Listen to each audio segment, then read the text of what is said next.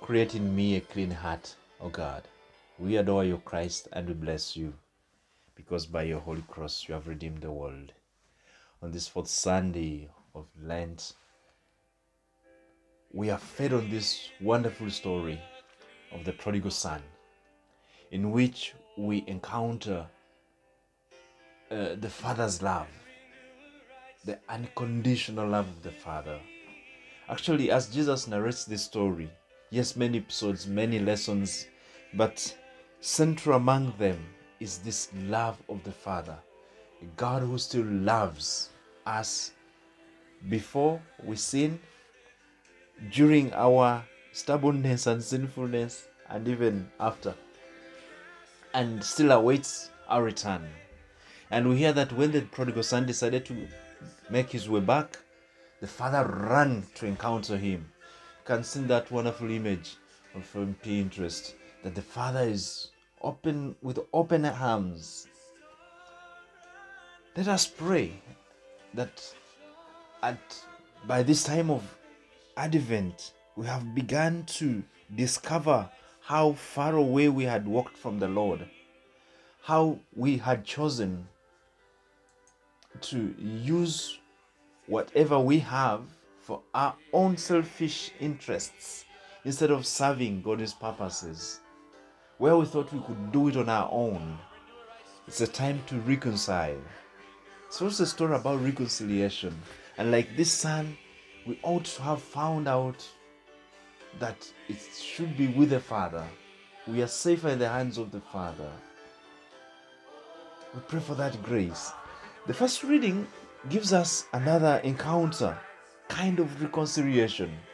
That finally, these people who have been in the in the wilderness, spent 40 years in the wilderness, they're going to taste the first fruits from their from their new land, from the promised land.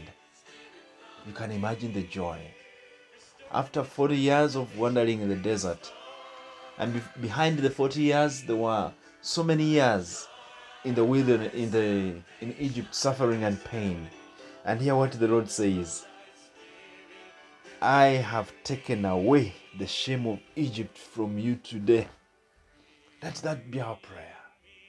Lord, let us hear those words from you. The pain, the suffering, the hardships, the worries, and the fears. Let us hear those words from you, Lord. And actually wants to speak those words to us. But, but, you have to be willing to walk the, the, the, through the wilderness such that he can, you know, uh, fulfill his pledge as we also walk our walk. So that's the challenge it throws to us on this fourth Sunday of Lent. And the good news is that, uh, regardless of who doesn't want us to be blessed by the Lord, we shall be blessed anyway. That's why, as the gospel begins, Luke chapter 15, verses 1, we hear of uh, these uh, tax collectors and sinners moving to Jesus, and then the Pharisees and scribes are complaining. Look at the dirty ones going to the to, to the holy one. Yeah, perhaps some of us, some people could be discouraged by now. Like, how will I go back to church after this so many years? How do I start over? How do I reconcile? No, just make that step. If the Lord is dropping it in your heart right now, just make a step. If you feel you've come back to your senses, as we hear that this prodigal son did, yes, just decide to walk back. And as you walk back, remember, like the prodigal son, he goes back without any sense of entitlement. Remember, he walked away with a sense of entitlement, but he walks back without he's like okay dad i'll tell daddy the lord um uh, i'm not worthy anymore to be called your servant your son. Treat me as one of the servants. And that's what sin reduces us into. It changes our position from son sonship a child to that lower position but repentance turns the scores from that slave situation to uh, once again into the sonship, into a beloved child of God. You know, this first reading, yes, Joshua and his team are now living in the promised land. They have settled in and now begin to taste the fruit of that land. Yes, indeed, God is a our God is a provident and faithful God. He fed them on manna as long as they needed it, even into the promised land. Isn't that beautiful? That God's, God knows the details. He knows when to, to give you a hand. He knows when to uphold you when you cannot survive on your own. He knows and will find a way. Actually, times like this, when there are so many worries, people recovering from COVID, the world recovering from COVID, fears of war here and there, so much pain and suffering here and there. The Lord knows how to sustain us in all these times. We only have to trust Him, not to give in to worry. Surely the whole journey through the wilderness was dramatic, scary, and worrisome. And indeed, some endured, others complained, while others gave up. And those who gave up, we had he decided that okay since you don't trust anymore you don't believe anymore fine. You don't get to the promised land. Because that's what fear and doubt says that you don't believe that you can get there. Then it's like okay let it be done according to what you believe. Where is your faith? So is life. Some will choose to keep moving forward gratefully others will continuously grumble while others will give up on the way However, we are encouraged to take on the attitude like that of the team that made it to the promised land. Joshua, Caleb, and those who are about their age, uh, below their age, because apparently most of those above their age had died in the desert.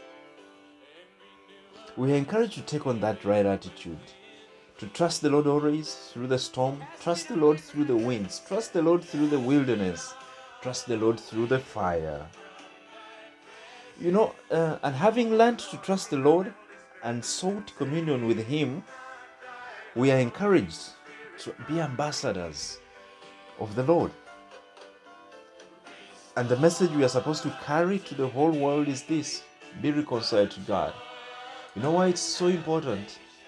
Uh, first and foremost, with zillions, so many multitudes of people who are estranged from God, with growing atheism, uh, with increasing agnosticism, increasing secularism, great fear, and all other forms of uh, ungodly uh, attitudes and ungodly legislations.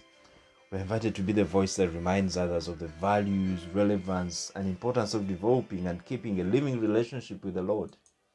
That's why the Lord wants us to be His ambassadors. That's the position He's inviting us into. That having repented, having returned to Him, let us go and invite our fellow sinners. Tell them about this loving God. God who never condemns, but welcomes us, even in our sinful state, and is willing to restore us. Many times people make whatever choices they make with the hope of finding peace or averting evil. And the Lord already reveals the key to peace and aversion of evil. It's turning to Him, who is the source and fountain of mercy. Uh, I think this Polish girl, Sister Faustina, well known as Sister Faustina, received that beautiful message which we ought to take in carefully and seriously. In the diary 10, uh, 1074, Jesus says, Tell aching mankind to snuggle close to my merciful heart, and I, and I will fill it with peace. Sometimes we want to use all other means and forms of finding what we want, but the Lord already assured us. Surely peace isn't it what everything everyone wants? We need peace of heart. We want peace of mind. We want peace in the family. We want peace in the world. Yes. And Jesus already assured us, diary 300, mankind will not have peace until it turns with trust to my mercy. And to enjoy that peace, the journey begins with reconciling with God. That's the sacrament of uh, penance. Perhaps some people don't know how to find this peace and they need to hear from you. That's what he, why he's inviting you and I to become his ambassadors. Will you help Jesus to spread that word? Will you become an agent of reconciliation? Perhaps a few ideas on how to become an ambassador of this reconciliation with God. One, begin working towards peace in our own hearts through confession. Then extend that peace to our families through prayer, love, and forgiveness as a family and building a strong and God fearing families. Then we can support or get involved in works of evangelization. And after we've been, you know, uh, away from the Lord, as the prodigal son was, we've committed a good number of sins, one can wonder will really God forgive me? Will God maybe just reject me? Is there hope for me still? In the gospel, Jesus vividly reveals to us the mind and attitude of God towards us. God does not condemn us when we decide to return to Him. Let us see how the Father deals with the prodigal son again. While he was still a long way off, his father caught sight of him, was filled with compassion, and father ran and embraced him and kissed him. You know, just take a moment. Can you envision God running towards you and embracing you? Maybe you need to take a moment today. Sit down and envision. It's a prayer of imagination. Make that prayer of imagination. See Jesus running, God running towards you and embracing you. Tell him what you want. Touch him. Ask him to touch you. Ask him to embrace you. As the son actually rehearsed his words of apology, the father was so much focused on expressing his love. Just to remind us that no amount of sin uh, uh, can ex- no amount of sin that we commit can exclude us from the love and grace of God. It's only our decision to remain far from Him and our decision not to repent that uh, blocks this uh, relationship, renewed relationship with our God. The Father thereafter orders, let there be a feast. Have your sandals. You see, the the boy is barefooted. Have your sandals back. Have the ring. Yes, all this means something. Ring it's a reminder you still belong to me. It's a sign of belonging. You belong to me. In that culture, they used to have two rings of the family, and there's a family name. Father's like, You belong to me, sealed, confirmed, and sealed. Don't doubt it again. Sandals, you're not a slave. You are a son. You're a beloved child of God. And then let's party. Let me express, show you my joy. How do you treat those who have hurt you? How do you assure them that all is well once again, that we can start over?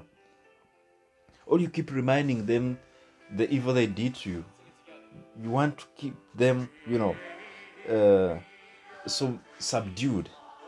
The Father shows us a, a, a different attitude. If you've forgiven, forgive completely and go to the point, seek reconciliation with them. Yeah. Uh, so the shock is for this boy God still, daddy still loves me. What will hinder or block a relationship with God? It's unconfessed sin, poor communication or lack of prayer, uh, excessive worry, unforgiveness, lack of faith, lack of love and disregard for others, disobedience, complaining, holding on to idols, and being too critical of others. You see the attitude of this boy, the elder brother? Your son has come back, and then for us, you've never given us anything. We've been slaving for you. My friend, you are not slaving for God. No. Actually, with that attitude that you're slaving for God, working so hard to please God, you have it wrong. You are so, your heart is so far away from Him. Let us pray that we may once again uh, rediscover that amazing love of God, renew our relationship with the Father, and find the courage and strength to turn to Him. Amen. Shalom.